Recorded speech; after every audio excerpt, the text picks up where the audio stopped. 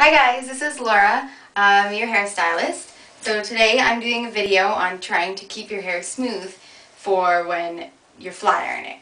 So this will be, I'm using a blow dryer on Christina here who has naturally curly hair and I'm going to show you the tips of when you're blow drying your hair so that it'll be really really nice and smooth and easiest to flat iron because you don't want to spend like three hours flat ironing it. It shouldn't take you that long.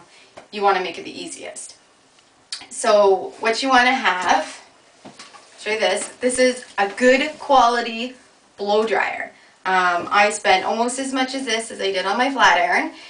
It's Thermaline and it's ionic. So what ionic means is it's shooting out negatively charged ions which are going to smooth your hair and dry it much faster than just like, you know, some crappy one you got for $20 at like Walmart or something. Anyway, so over here, this is um, Christina's hair we already blow dried for her and we just kind of rough dried it. We kind of tossed it all over the place like this when we did it. So as you can see, it's very frizzy um, because all of her natural curls are out and it doesn't really feel that smooth either right now. So this side, if we were to try to flat iron it, for me it wouldn't take that long, but for Christina it would probably take her a while. If she needs to be somewhere fast, she wants something that's going to be quick. So on this side, I'm going to show you, this is still wet, how to blow dry it to make it the smoothest. So as I said in one of my other videos, when you heat hair up, it wants to take the form of whatever it's been heated into. So whether you're curling with a flat iron or straightening it, you know, that's why you get it straight. So you want to do that with your blow dryer. You know, you don't blow dry your hair all over the place if your end product, you want it to be sleek and smooth. What you want to do is you want to blow dry it from top to bottom, starting at your roots to get all that water out of there first because it's just going to trickle down your hair anyways. And try to get it as smooth as possible. So I'm going to use this nice blow dryer I have. I'm also going to use my brush and we are going to smooth out Christina's hair and you'll see a big difference between this side and that side.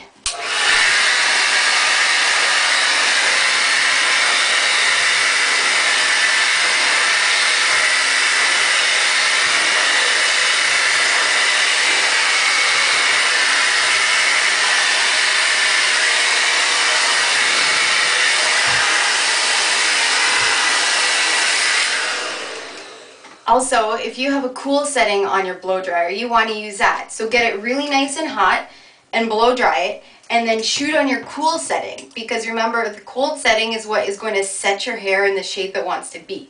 So if I heat it up and make it smooth and then I set my cold setting on there, it's going to make it nice and straight.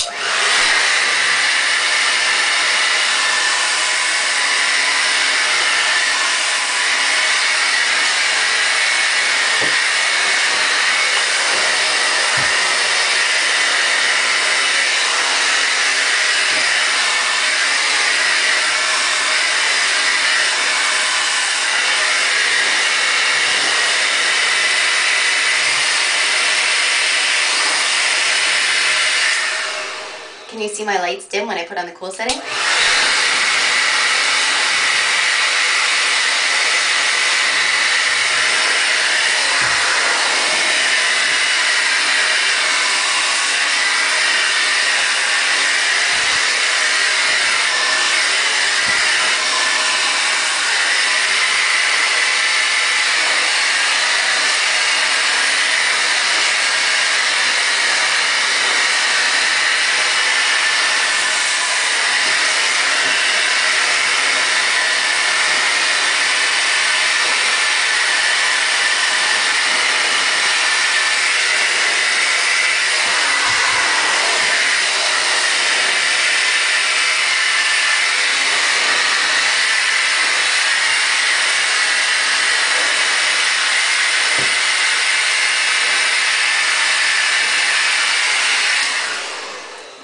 Do you see already how much smoother this side is than that side?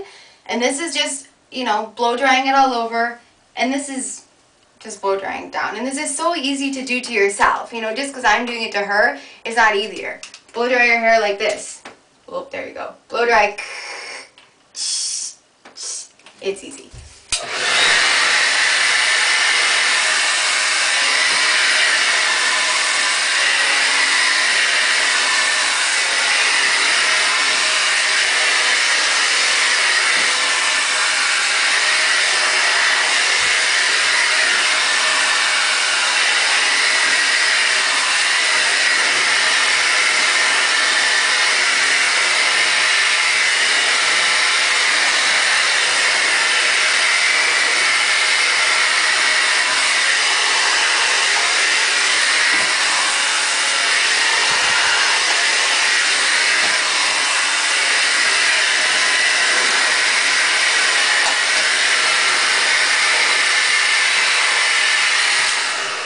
So the hair is still really nice and hot. I'm going to go over it with the cool setting one last time.